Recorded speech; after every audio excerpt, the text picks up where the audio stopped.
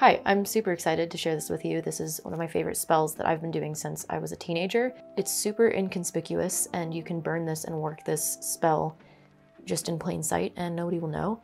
They also make wonderful gifts. There's a lot of creative freedom and these are really versatile spells. So what you'll need is a store-bought candle, preferably soy wax because it's soft and you'll understand why. you'll need that in a second. Then uh, any herbs or like you're gonna need very, very little. So any herbs or like anything that you want to load your candle with if you want to use oils, but again, you want to use very little. And then we've got something to dig the candle, like dig a hole into the candle. Something small though, um, so you can use like a, a nail or a pen or even a, like a really small, very sturdy spoon. And then you're gonna need either a lighter or some matches. Before we get started, I would like to thank the sponsor of this video, Ana Luisa, a carbon and water neutral jewelry company that not only helps support my channel, but also provided me with these three beautiful pieces that I'll be gifting to my mom for Mother's Day. As of this video, Ana Luisa has a buy one get one for 40% off. So if you're a mother, a mother figure, or even just the mom friend in the group, then take a peek at the link below and see if they have anything that fits your fancy. I'd say it counts if you're a pet parent too. So, first of all, um, this is a spell that I used to I would make either for myself and just burn in my room or something that I would make for my mom pretty often. And unknowingly, anytime she would light it, it would be activating my spell for like stress relief or luck or abundance or whatever that I charged the candle for. So um, I got these at Target. Look for a candle that matched my intention. So like a smell or something that would match my intention. So just found these and it says join laughter. So I was like, oh, I'll just do a spell candle for joy or, you know, like an uplifting feel, like a cleansing, uplifting type of spell. Um, something like that, that would draw that kind of energy into a space. And then I have this smaller one. This is called Escape and Discover. It's by the same brand, but I figured this one would be like a stress relief, mind clarity type of spell. So let's do these. Um, let's start with the bigger one. So and I also, this one like already has wax kind of like floating around anyway. So uh, kind of works out. So the thing is, is usually I like the bigger candles, the ones with like the three wicks, but those can also be pricier. So first of all, you would cleanse the candle. I've already cleansed these candles. And because I want this one to attract like cleansing, spacious, um, very like light type of energy, I'm going to charge it for that and I'm going to use these ingredients. Now, these ingredients are just ones that I literally just grabbed. They're not anything that if you don't have them, you can't use it or whatever. Just use what you have, you know, as always. So first of all, kind of poke some holes in here and just kind of like basically dig out a little piece. And you don't want this hole like too big. You know, you, you want to be able to fit your ingredients in there, but you also don't want it like huge because we're going to cover it up. So personally, I just kind of push the wax to the side. You want to make sure that you keep this wax because you're going to use it later. And it really depends on how much ingredients you're planning on putting in there. I really suggest to go really light on the ingredients. You really don't want to be like loading this candle full because I mean, A, it can just kind of be uh, a bitch to burn later, but also if you are gifting this to someone or if this is like one of those candles that you're setting on like a table and people can see it, you're gonna see all these like weird stuff floating around. So you just wanna be kind of mindful of how much you're putting in here. Just remember that a little goes a long way. So I would say that's probably good. You know, like it's not ridiculously deep or anything, but um, that's in, that's enough for me to load a small small layer of herbs and if I wanted to like maybe a drop of oil or something. I highly suggest if you have powders, use those because if you're using full herbs or even like small crystal beads, which I'm gonna be using these beads. I don't know, like, you know, chips, that's what they're called. I'm gonna be using this pink salt. So that would probably be as big of crystals if you wanted to use crystal chips. You really don't want anything big. I'm probably going to add maybe three of these. And then I have some rose petals here.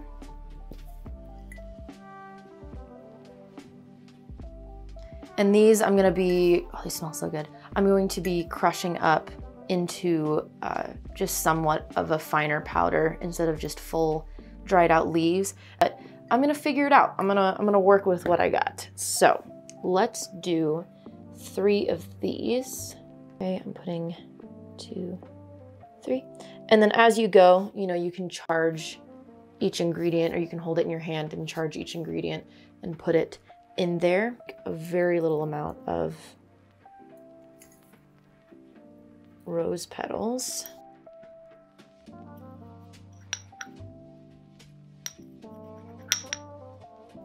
And also if you have a coffee grinder, you know, you can also use that for this as well. A very minimal amount of rose. And so this is the part that's kind of hard, especially if you're like really trying to make sure this isn't seen or anything. Oh, see, I'm already messing up. Oh God. it's fine. And if this happens, a lot of the time I'll actually just like throw some other rose petals over it. Um, and I mean, I've never really had anybody ask, but if I did have somebody ask, I'd just be like, oh, I, I don't know. I just thought I, they looked cute. Decorated it with some rose petals. It's just a very minimal amount. I really don't need a lot. So I'm just gonna kind of like try to uh, stuff these in there as best I can. Kind of have that loaded back. So now that we have that, right, I'm going to, see if I can get, I'm going to just cover this up and bury this and just really pack that back in there. Okay, and I might have like some extra wax that I might not use, I don't know. But basically I just want to get that back in there. And now for this part, it really depends on your candle and like the layout of it and what kind of wax. Like I said, you are going to have so much of an easier time if you use soy. See, and I already have, I have like some little extra pieces just of rose, but you don't want to light the candle. You want to just heat it up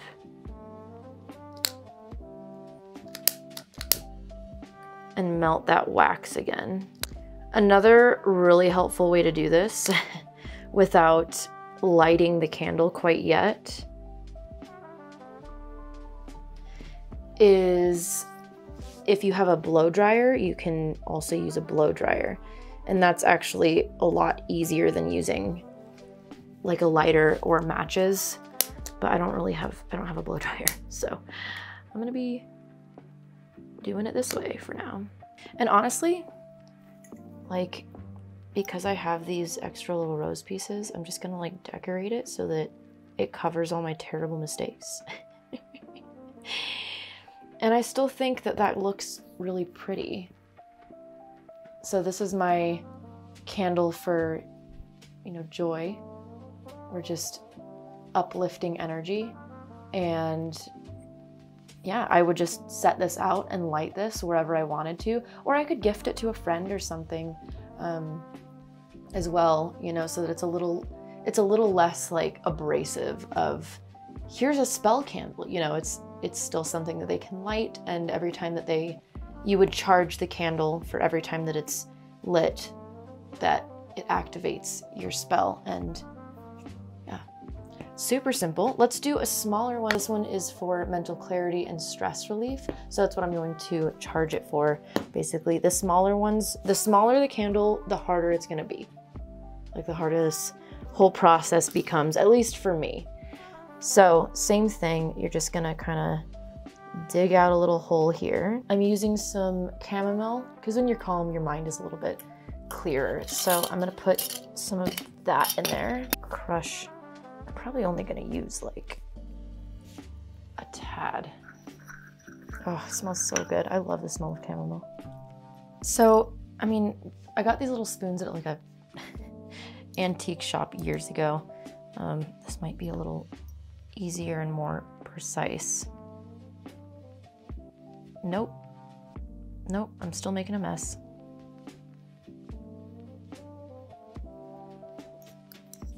okay. It's fine, it's fine. Okay, so we got the chamomile, and then I'm gonna use just the little bit of goldenrod that Annie gave me. And again, like if you don't have, uh, you know, these specific herbs, don't fret. Just use whatever you've got at the time. That might be a little bit too big of a flower to fit in there. Yeah, probably. It's, you know what? We're gonna, like I said, we're gonna make it work. We are gonna make it work. It's fine. Okay. And then lastly, I have some lemongrass. Okay, so now that I've got most of it in there, I'm gonna pack it back up with the wax. These are great for like if you, you know, work at a desk and you don't want people seeing like a spell that you're making. So you could do like success spells or road openers or attraction spells for clients. If you work at a desk and, you know, again, you don't want people like seeing a spell work or like working happening right there. Um, these are great for those. The, the smaller these candles are, the much more I would suggest getting a hair dryer. And just because I'm not needing to completely cover these, if you really don't want to be showing uh, these herbs or you don't want it, you know, like this one, make sure to dig at least maybe like a knuckle down, right? and at least maybe the size of your index finger. These are smaller candles, so it'd probably be, I mean, you probably could do it with this one, but this one would be harder. And use like a small funnel to get all of your ingredients in. Don't just throw it in, you know, sloppy like I did. But like I said, I don't really need to hide my candles. But this is a really great way to implement spell candles because mine mine are sloppy. These ones are more on the sloppy side, I will admit. But again, I'm not in a position where I need to hide my spell work. So if you really need to hide your spell work, I would highly suggest digging about a knuckle down, and for candles like these or bigger, at least the size of your index finger. And if you don't, if you really don't want to have anything seen, because in this candle you can definitely see, I mean, this is sloppy, like I said, this is a very sloppy candle. Close it up and use a hair dryer, and that will be a lot smoother and it'll be a lot less noticeable as a loaded candle. So that is my secret spell candle tactic, technique, whatever, whatever you want to call it. Um, it's it's worked for me for years. I still use it pretty often just because I, I do really like using store-bought candles sometimes because they smell nice and then I can also make them witchy. But I hope that you enjoyed and again thank you so much to Ana Luisa for sponsoring this video.